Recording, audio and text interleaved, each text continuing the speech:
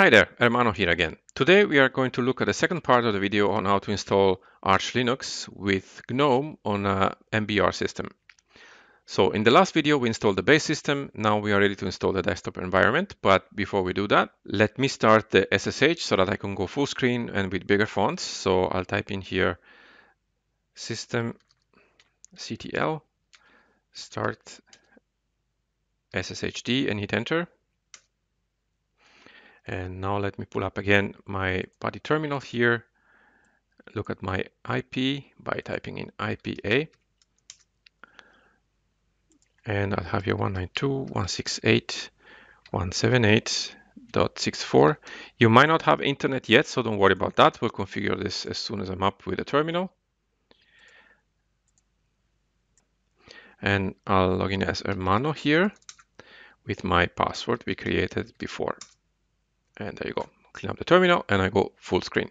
So, so as I said before, if I type IP space A, you'll see I have already an IP here, 192.168.178.74. Well, I have an IP because I already started Network Manager. You might not have an IP yet because you didn't do that yet.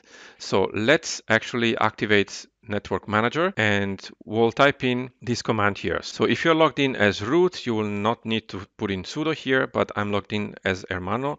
So I'll have to here put sudo. So I'll type in sudo system ctl start network manager with capital N and capital M.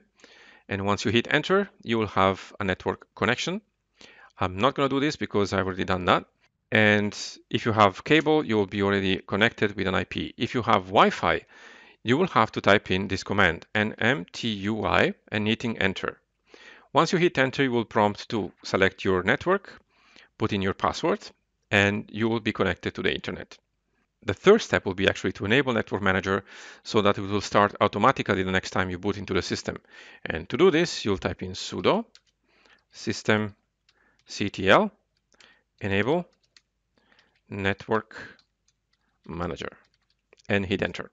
Again, I did that already, so I will not do this, but once you hit enter, you'll be connected to the internet automatically next time. So now that we have internet, we can proceed with installation of the video drivers. So if you're installing this on VirtualBox, you can skip ahead, of course. If you're installing this on a computer with a video card in there, you might have to install some drivers. And I'll give you the packages for the Intel cards, NIP cards, and NVIDIA cards.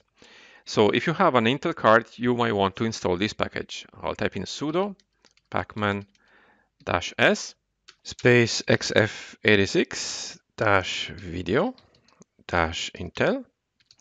And you might also want to install the Mesa package and then hit enter. Of course, I'm not going to do this as I don't have any Intel card in VirtualBox.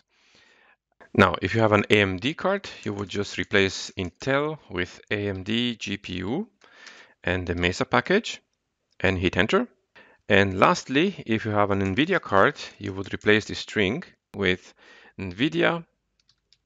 And the second package is NVIDIA dash utils and hitting enter.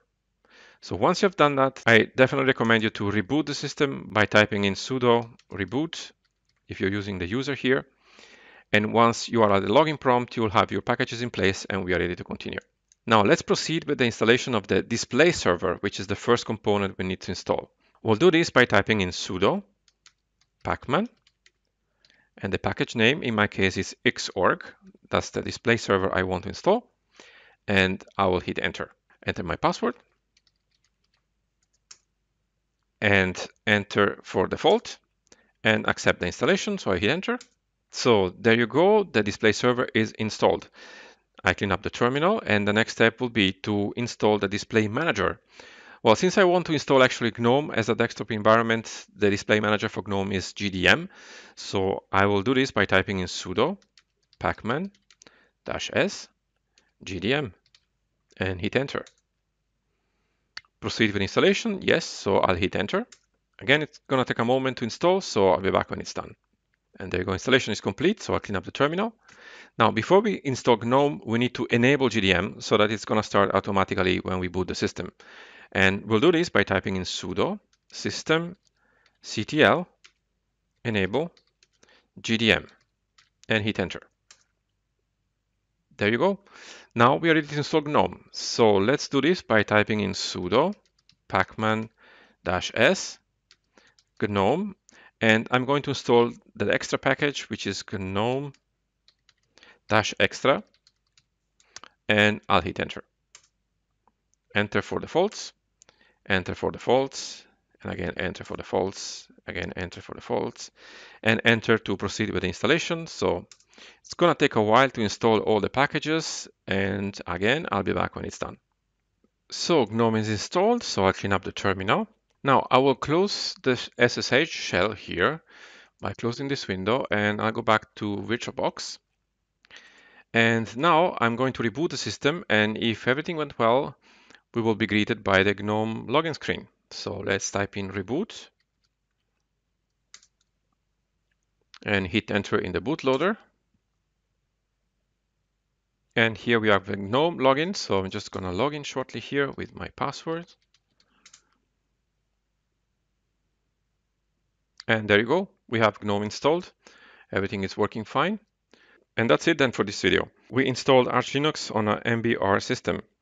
I hope you enjoyed it, and if you want to see more, make sure you like the video by clicking the like button below, and subscribe to the channel if you want to be notified of future videos. It really helps us out, guys. And if there's anything specific you want me to cover or you have any question, please let me know in the comments below. Thanks for watching and see you in the next one.